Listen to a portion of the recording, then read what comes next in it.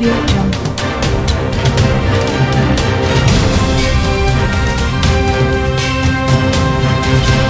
नमस्कार, मैं भाग्यश्री।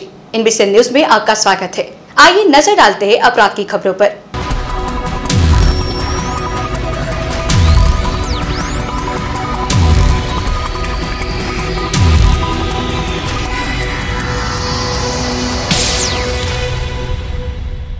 छब्बीस घंटे के भीतर शहर में तीन युवकों को मौत के घाट उतार दिया गया। भोजन नहीं देने पर नाबालिग ने अपने दोस्त की चाकू घोप कर हत्या कर दी। उधर दो युवकों ने शराब पीने के बाद हुए विवाद में घर में ही दोस्त को मार डाला। एक अन्य घटना में विधायक के जनसंपर्क कार्यालय के पास रंजिश के चलते तीन भाइयों समेत चार हमलावरों ने एक युवक की हत्या कर दी।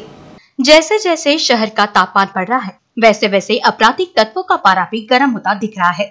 शहर में आए दिन बड़ी आपराधिक वारदातें हो रही है। बॉबी माकन हत्याकांड ने शहर में पहले ही खलबली मचा रखी है। ऐसे में 36 घंटे के भीतर तीन युवकों की हत्या से हड़कंप बच गया है। इन घटनाओं से कानून का डर कम होता दिखाई दे रहा है। लगड़गंज में एक सत्रह वर्षीय नाबालिग ने गंगाबाई घाट निवासी शुभम भीमराव वासनिक को मौत के घाट उतार दिया। कलमना में शनिवार देर रात अज्ञात आरोपी ने एक युवक को उसके घर के भीतर ही मौत के घाट उतार दिया। रविवार को उसे मृतावस्था में पाया गया। पहली वारदात लकड़गंज थाना क्षेत्र में हुई। पुलिस ने सत्रह वर्षीय किशोर को हिरासत में ले लिया है। छह वर्ष पहले शुभम के माता पिता का देहांत हो गया। वह अपने भाई और बहन के साथ गंगाबाई घाट परिसर में रहता था। किशोर के पिता का देहांत हो चुका है और वह अपनी माँ के साथ रहता है। शुभम और किशोर के बीच गहरी दोस्ती थी। हर जगह दोनों साथ जाते थे और रोज़ाना शराब पीने के आदि हो गए थे। शुक्रवार की रात दोनों मीठा नीम दरगाह पर गए। लौटते समय शुभम ने किशोर को अपने घर चलकर भोजन करने को कहा। इसी बीच दोनों ने शराब पी। शुभम ने घर जाकर खुद तो खाना खा लिया, लेकिन किशोर को भूखा छोड़ दिया।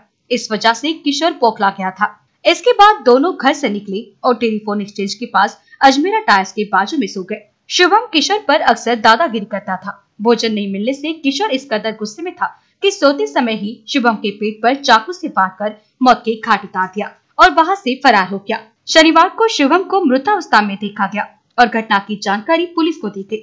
पुलिस को परिसर में लगे सीसीटीवी फुटेज से आरोपी किशोर का सुराग मिला और पुलिस ने उसे गिरफ़्तार कर लिया। कालची घटना आहे दिनांक चार पाच दोन हज़ार एकोणीस रोजी साधारणतः साडेदहा वाजता कंट्रोलवरून आम्हाला कॉल आला। की टेलिफोन एक्सचेंजचे गंगाबाई घाटकडे जाणाऱ्या बरोबर टायरच्या दुकानाजवळ एका बावीस ते पंचवीस वयोगटातील इस्माची बॉडी पडलेली आहे त्यावरून अ, आमचे पोलीस जाऊन।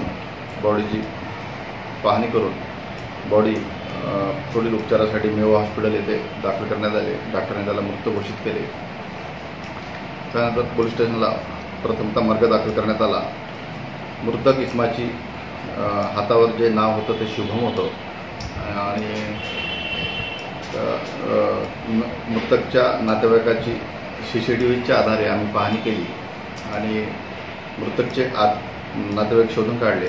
त्याचं नाव शुभम वासनिक गंगाबाई घाट रोड बुद्धविहाराजवळ राहणारा तो इसम आहे.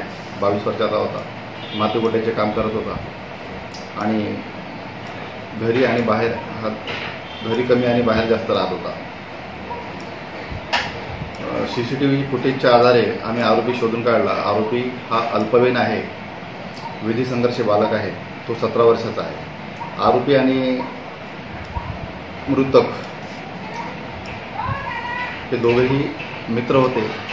त्यांचे एकमेकासोबत प्रेम होते आणि रोज सायंकाळला रात्री फिरायचे. घटनेच्या दिवशी रात्री अकरा वाजता मृतक आणि आरोपी हे दोघेही मृतकाच्या बहिणीच्या घरी गेले होते जेवण करण्यासाठी. त्यावेळेस मृतकाने जेवण केले परंतु आरोपी होता. त्याला जेवण करण्यासाठी आरोपीने म्हटलं नाही. त्याच्यामुळे त्याच्या मनात राग होता.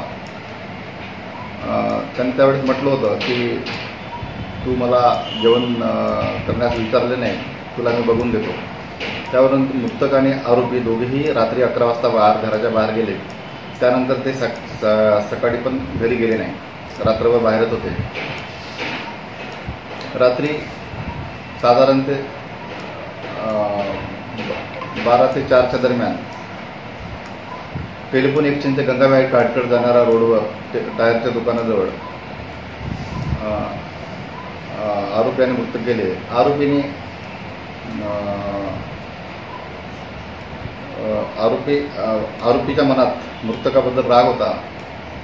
तर राग असल्याने त्याला त्याने धारदार शस्त्राने पोटाच्या बेंबीच्या जवळ घाव दिला आणि त्यामुळे तो जखमी होऊन मरण पावलेला आहे. आम्ही विदर्श विधी संघर्ष बालकास पोलीस स्टेशनला दाखल अपराध क्रमांक दोनशे सत्तावन्न अब्लिक दोनशे एकोणीस कलम तीनशे दोन भादूच्या गुन्ह्यात अटक केलेली आहे. आणि त्यांच्याकडून सर्व गुन्ह्यात वापरलेले शस्त्र जप्त करण्याची प्रक्रिया चालू आहे. आणि गुन्ह्याचा तपास चालू आहे.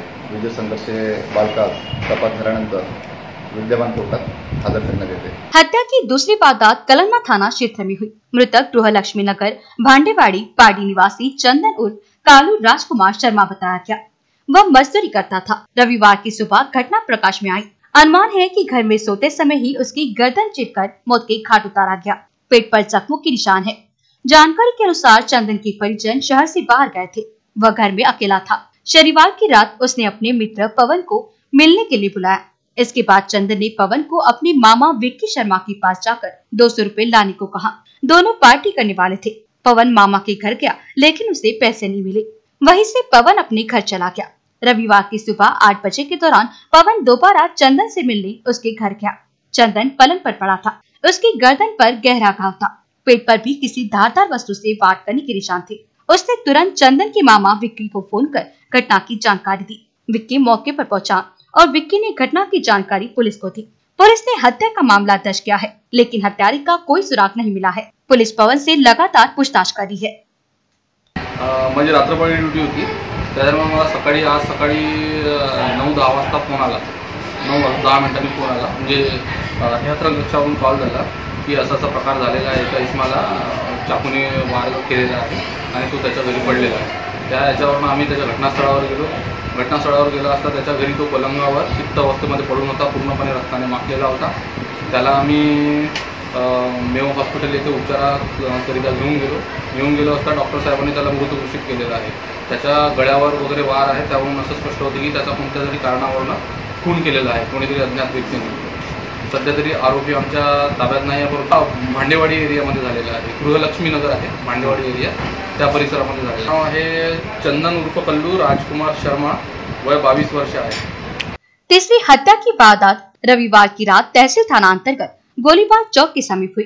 मृतक अंकित रामू थकाते और संदिग्ध आरोपी राहुल मोतीकर, सचिन चिजगरी, रोशन चिजगरे, अंकुश चिजगरी, नितिन उर्फ़ मच्छी निमजे के बीच लंबे समय से दुश्मनी चल रही थी।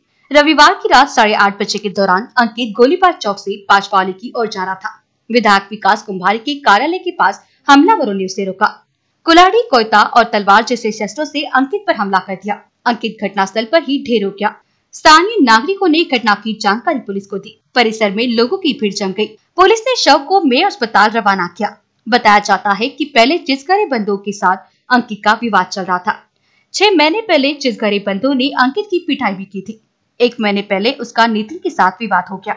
तब से रंजिश चल रही थी। आरोपियों को जानकारी मिली थी कि अंकित उन्हें मारने के लिए फील्डिंग लगा रहा है। इससे पहले कि वो कुछ करता, आरोपियों ने मिलकर उसे मौत की घाट उतार दिया। तहसील पुलिस आरोपियों की तलाश में जुट गई है। कैमरा पर्सन वीरेंद्र खोबरागढ़ के साथ अभिषेक पानसी की रिपोर्ट।